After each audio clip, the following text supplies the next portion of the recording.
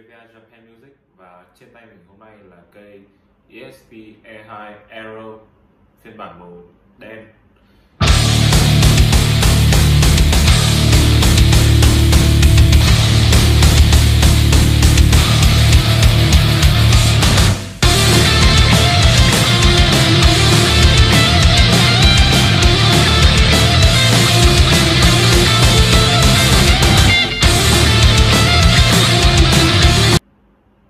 Cây ESP E2 Aero này là một cây guitar neck through phần body là gỗ alder phần neck là gỗ maple và phần fretboard là gỗ ebony.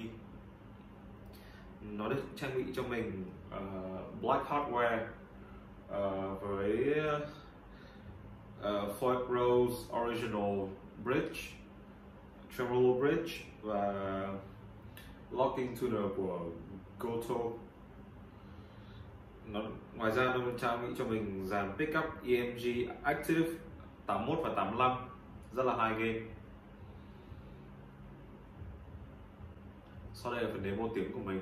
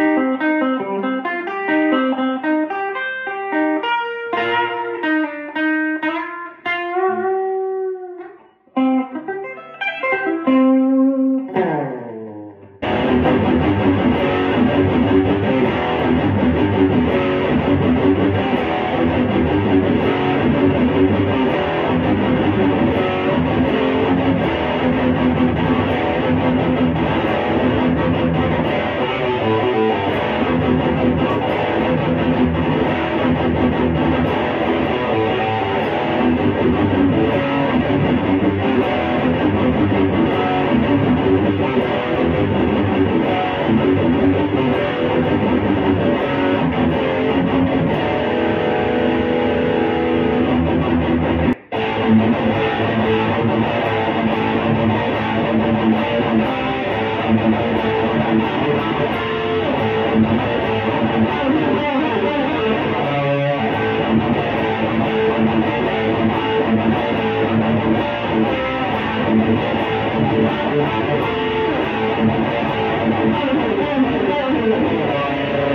vừa rồi là phần demo cây ESP E2 Aero phiên bản màu đen của mình.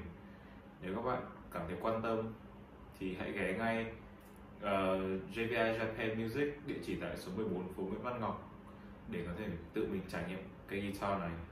Xin cảm ơn các bạn rất nhiều.